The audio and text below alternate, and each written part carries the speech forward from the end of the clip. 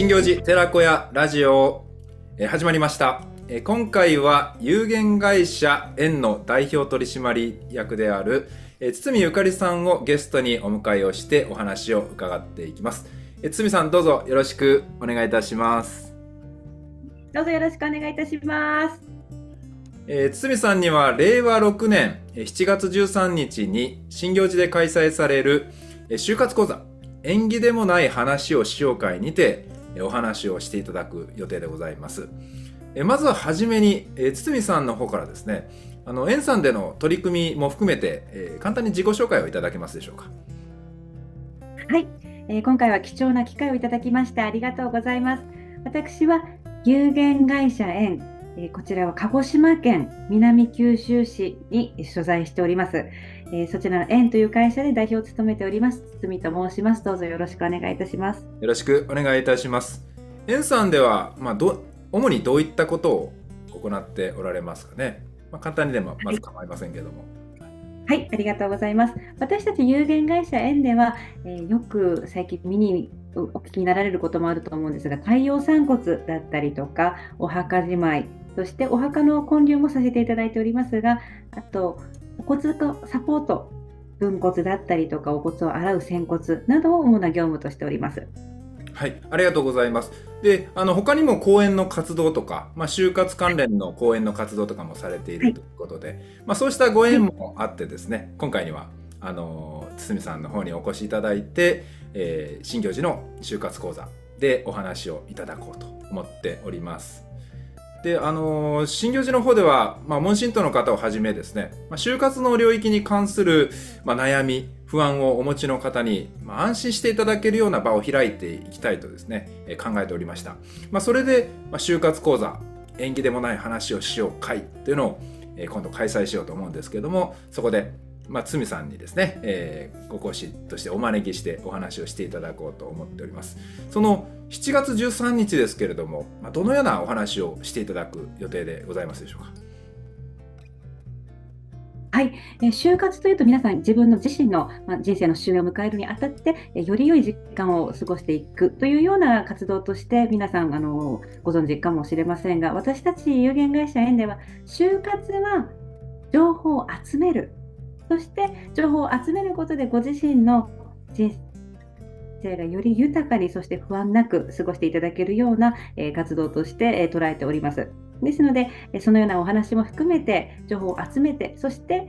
集めたお得になる情報を誰か大事な方に共有いただくというようなお話をさせていただければと思っております。うん就活って、まあ、大事なことだけれども何から手をつけたらいいかわからないとか、ね、あの誰に相談したらいいかわからないとかなんかこうあんまり始める始めるのも気が進まないなとかね、まあ、そういう思いをお持ちの方もおられるんではないかなと思いますけどまず就活ってどういうところから始めていくのがいいんでしょうかね。そうですね。あのまさしく今回新行寺様の会のタイトルなんですけれども、縁起でもないというふうなお気持ちで持ってらっしゃる方がなかなか一歩が前に出ないというふうにお考えになられるんですけれども、そのようなお気持ちではなくて、とにかく情報を集める。うんそれが大事になってくるというようなお気持ちでいらっしゃっていただいて、いろんな、例えば自分が不安になっていること、お金のことだったり、保険のことだったり、介護のことだったり、そういった不安に思っていらっしゃることを、まず誰かと共有できるようなお時間を過ごしていただくことが大事かなと思います。うん、あの今情報を集めるっていうことであのまあ就活の領域って結構領域が広いですよね。まあざっとで構いませんけどどういう領域、まあ、どういうことがあるんですかね。そうですね。あのよく言われるのが保険のこと、生命保険、そして財産のこと、そして生活の整理、生活用品の整理ですね。あとは最近大事になってきているのがデジタル関係の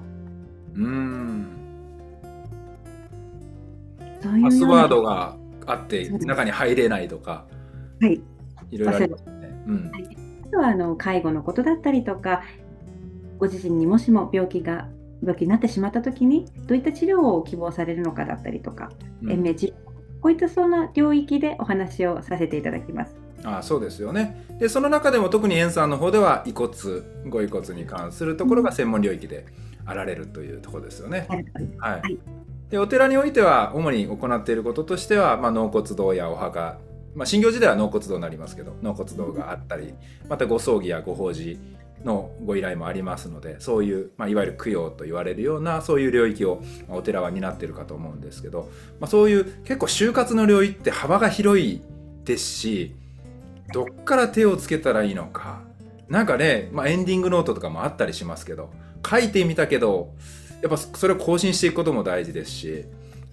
やっぱなんか会があることでそこに参加していただいて少しでもなんか気づきとか学びを得られるような場ができればいいなと思いますし、まあ、お寺自身もですね一緒に皆さんと参加者の方と学ばせていただきたいなと思っていて、まあ、こういう会を開いて開こうとしてるんですけども、まあ、今回その堤さんに来ていただいてですね、まあ、初めて特にもう初めて就活をするにはどういうところからまあ手をつけていったらいいんだろうかと、まあ、情報を集めてそしてその考えたことについてそのご家族とやっぱ共有するってことも大事ですよね結構。とても大事です。体調崩した時に例えばかかりつけ医とかまあ、どういう病院に行くかとかそういうこともやっぱ大事でしょうしね。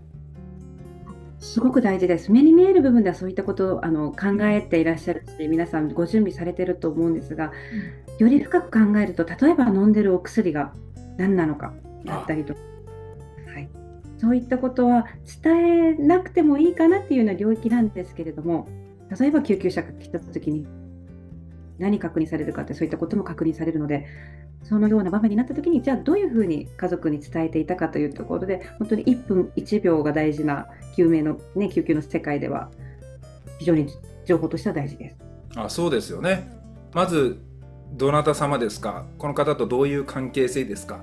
でそしたらどういうお薬飲んでらっしゃいますか？こういう治療して大丈夫ですか？とかいろいろねそういうことがやっぱり矢継ぎ早に聞かれながら、まあ、1分1秒争いますからね。そういったところを、まあ、日頃から共有しておくってこともやっぱり大事だったりするわけですよね。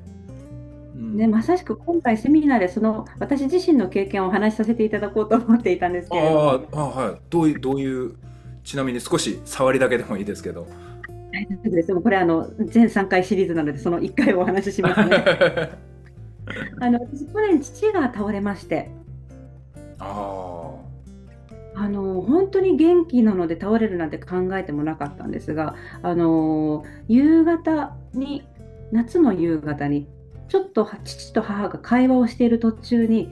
父がこう、ろれつが回らなくなってしまった。あららら、うん、であれなんかおかしいなということで会話を続けていたら今度は手が上がらなくなったので母がおかしいなということで私に電話をしてでそれちょっと状況がおかしいから救急車すぐ呼んだ方がいいよっていう話をして救急隊員さんをお願いしたんですが、うん、その時にやっぱり母もいつもの父じゃないもしかしたらということを考えてパニックに陥ってしまったらやっぱり救急隊員の方とお話がうまくコンタクトが取れなくなってしまって父は昭和21年生まれなんですが救急隊員の方に何年生まれですか？って聞かれたら平成21年生まれですとかです。そうですよね。だったりその高血圧の薬が何だったのかとかいろいろな情報を正確に伝えられなかったというような私自身の経験が今すごく生かされてます。あそうですよね一緒にお暮らしでらっしゃるご夫婦の方であったりすればまだねコミュニケーションを取られているケースもあるとは思いますけど親子となってくるとやっぱ日頃どういう薬を飲んでるかがなかなか把握が難しかったりとか